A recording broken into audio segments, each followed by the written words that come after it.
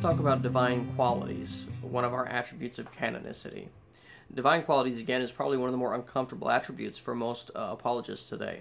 But we have to understand that just as we would argue from an evidential standpoint that, uh, as the psalmist said, that the heavens declare the glories of God, uh, that night after night the stars shine forth uh, his name and his speech, uh, we are arguing from design in the universe that it that there is a God, there is a creator.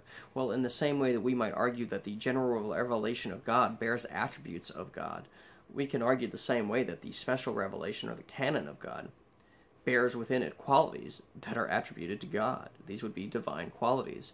And of course, this was uh, a popular position in the early early church. Origen, while you might not agree with most of his uh, his interpretive methods, felt that the the spiritual aspect of Scripture, the divine qualities and characteristics of God, were of utmost importance coming from the text. This was also true in the Belgic Confession or the Westminster Confession of Faith, uh, in which we read about the efficacy and beauty of Scripture. Now, we're not talking about something that is flourishing in speech or overly poetic or uh, beautiful in literary style, where, but we could argue that there is some beautiful literary style, but that's not what is meant here when we say there are divine qualities within the text themselves, what we are saying is that there is a unifying message that speaks of Christ, that speaks of God, that shows the character of God, and more importantly, even, that this new covenant set of documents corresponds with the old covenant already established by God. Because God is not a God of disorder, He is a God of order. Both covenants should correspond. And in fact, as we've already mentioned, this was how the New Testament canon was measured in its earliest stages. We actually see an example of something like this in secular literature. Almost all of you are probably familiar with Romeo and Juliet by you know William Shakespeare. However, many people aren't aware that Romeo and Juliet by William Shakespeare is not the first Romeo and Juliet. Romeo and Juliet was uh, originally written by Arthur Brooke, more than a decade before Shakespeare. Now, the question is, why is Arthur Brooke's Romeo and Juliet almost forgotten, and William Shakespeare's has been uh, infinitely famous. And it can't be to argue that it's because William Shakespeare's was more in line with the political environment, because Shakespeare's writing actually was very quite defiant to the governing authorities of the day. Arthur Brooke's was actually quite in line uh, with the governing authorities, and as such, it had a different ending uh, and slight differences within it, but the overall message was the same. But what we find in the example of William Shakespeare's Romeo and Juliet is that it was the content of Shakespeare's Romeo and Juliet that made it last. People identified characteristics or qualities within that text that were superior to Arthur Brooke's. And whether that is fair to Brooks or not, that is the case. For how we know Romeo and Juliet solely on the basis of William Shakespeare. It was not from external uh, authority, it was not from external proof, but from the actual internal characteristic of the text.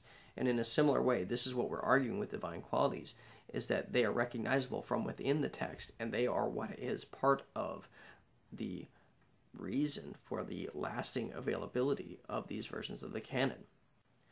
So, how did these divine qualities show up for the early church when the New Testament canon was being developed, or even after it was closed and uh, the post apostolic church continued? Well, in large ways, we've already mentioned how, and that was through the use of the Old Testament canon. Certainly, it's been argued that there was no such thing as orthodoxy in the early church, but be, be given the existence of the Old Testament as a source of canonicity and a source of orthodoxy for both Jesus and Paul and the rest of the church, we can pretty much shoot that, that claim down. The other position is knowing that the Old Testament canon existed as a form of orthodoxy for the early Christians, it automatically eliminates several heretical viewpoints, Gnosticism being one of the more particular ones, because Gnosticism rejected the Old Testament canon as being unnecessary or as being evil, it eliminates itself as being credible as Orthodox Christianity. Because all things that were taught in the first church were measured on the basis of the Old Testament canon. So, this argument that there were multiple Christianities and only one uh, form one out is really not paying attention to the facts or not even acknowledging the existence of the Old Testament. Beyond that, the earliest fathers, or church fathers, spoke of what's called the regula fidei, or the rule of faith. And the rule of faith was simply a collection of, or overview of the apostolic teachings, uh, the unity of Christ and the covenant of redemption, the method of transmission through the apostles, uh, redemption by grace. All these things were part of the regulae fidei.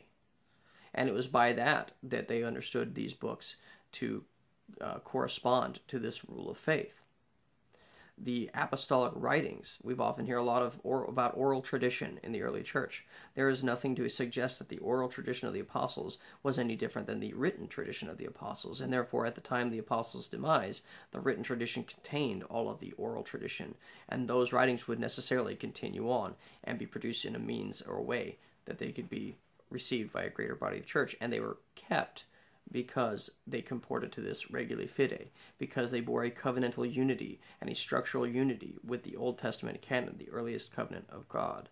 Now, what we find is, is actually rather ironic, is the same people that would claim that the, the New Testament canon we have now is simply a product of the Christian winner of the day are also the same people that argue that it has no structural unity, it has no covenantal or theological unity, that it is just a mishmash of various ideas and various uh, positions or party politics and theology, and that they, they are un, unreconcilably uh, against one another.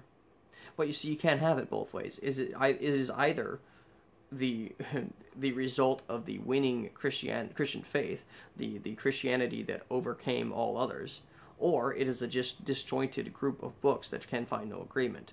There would be no reason to think that both would apply.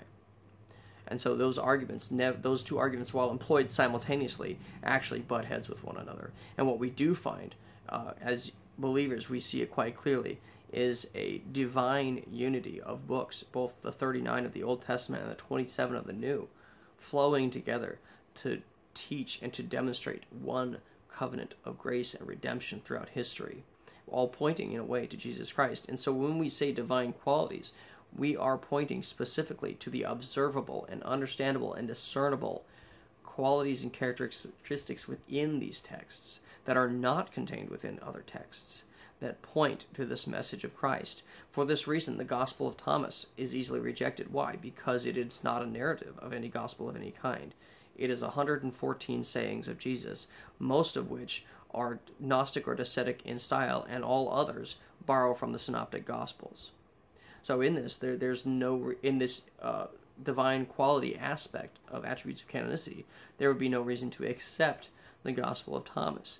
It contradicts the covenantal unity of the Old Testament. It does not comport to the apostolicity of what it, of its claims, and as such, it was rejected um, by the body of the church.